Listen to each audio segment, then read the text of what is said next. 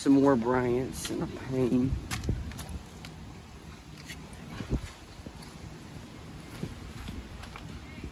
I'll get over to this one now. Done. This one looks like it's been a dead sea.